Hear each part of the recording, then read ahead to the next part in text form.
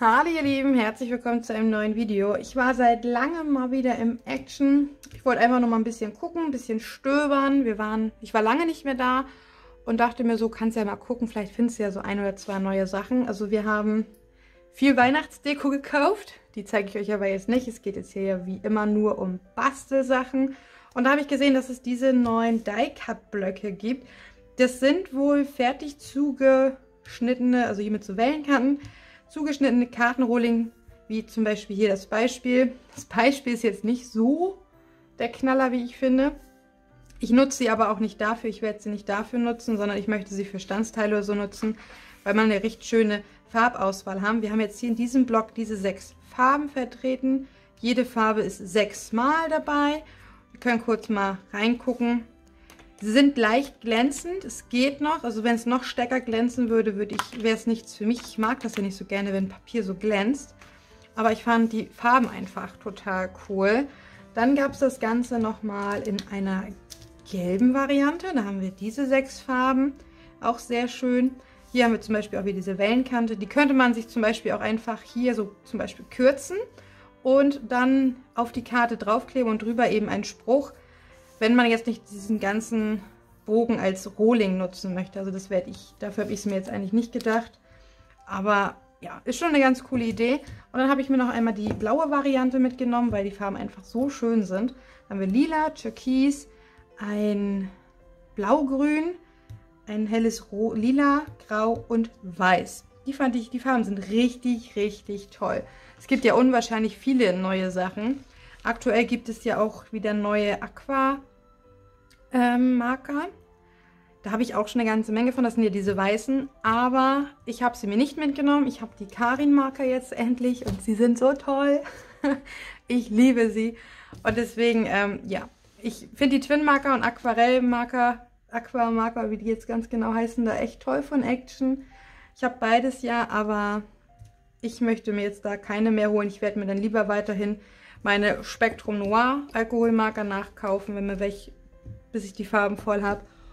Ja, und Aquamarker bin ich jetzt auch erstmal ausgestattet, weil die Karin-Marker sind schon echt der Knaller. Und dafür habe ich mir auch, weil ich auch das Metallic-Set davon habe, diese Bullet Journal mitgenommen. Das sind ja besondere Bullet Journal. Erstmal sind die wunderschön von außen. Ich hatte jetzt vier verschiedene Designs gesehen ähm, und habe mir diese beiden hier rausgesucht. Die sind echt wunderschön und die haben schwarzes Papier. Das fand ich auch mal eine richtig geniale Sache. Da kommen nämlich zum Beispiel diese Metallic Marker von Karin richtig gut drauf, ähm, ähm, gut drauf an. Ja, das war jetzt ein super Satz. Da kann man sie eben super drauf sehen. Ich glaube, das macht was ganz Schönes her. Freue ich mich auch schon sehr, sie drauf zu nutzen. Ja, und die sind wirklich schön, oder? Es gab noch zwei andere Designs, aber diese beiden hier, die haben es mir echt angetan. Richtig, richtig toll. Ich möchte mich ja doch mal wieder darin probieren, ein wenig mehr mit meinem Bullet Journal zu arbeiten. Dann gab es diese hier neu.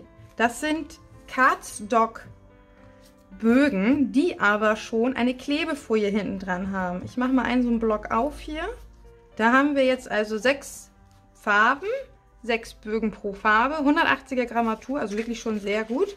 Und wir können eben hier stanzen und dann können wir hinten die Folie abziehen und haben dann gleichzeitig auch einen Sticker rausgemacht. Richtig cool, wie ich finde. Gerade für Sprüche oder, oder sowas kann man sowas natürlich super nutzen. Oder wenn man so kleine Details machen möchte, wie zum Beispiel das Beispiel mit den Schmetterlingen. Richtig schick. Da gab es eben auch verschiedene Farbvarianten wieder. Einmal das hier von Orange bis zu diesem ganz dunklen Rot. Dann haben wir von hellrosa bis lila. Von hellblau bis ganz dunklem Blau. Dann einmal von hellgrün bis dunkelgrün. Und hier dann einmal so eine bunte Mischung mit Pastellfarben. Also wirklich cool. Richtig schick, muss ich sagen. Und eine total geniale Idee. Ich mache das ja sowieso schon. Ich habe mir ja das ähm, Klebeband auf Rolle von Ideen mit Herz geholt. Das klebe ich mir ja unter Papier, wenn ich auch so Sachen direkt ausstanzen möchte.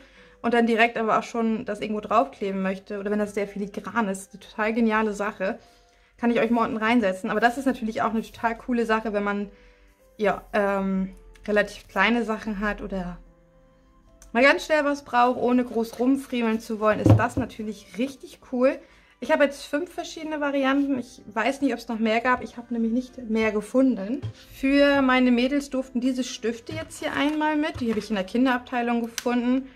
Gerade die Kleine bastelt ja super gerne. Die Große ist eher Zeichnen. Und da dachte ich mir, ist das eine ganz gute Sache für beide eigentlich. Da haben wir hier eben einen Stern jetzt zum Beispiel als Stempel.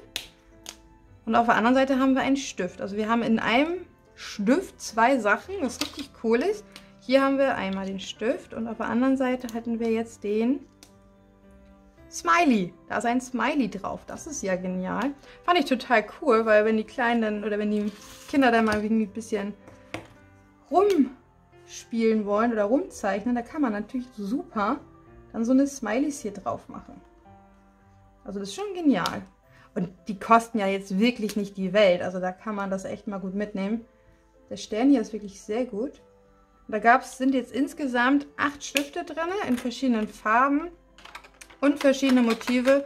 Fand ich eine ganz witzige Sache und ja, ich denke mal, dass die Mädchen da auch sehr viel Spaß dran haben werden. Und zu guter Letzt habe ich mir zwei große neue Blöcke mitgenommen.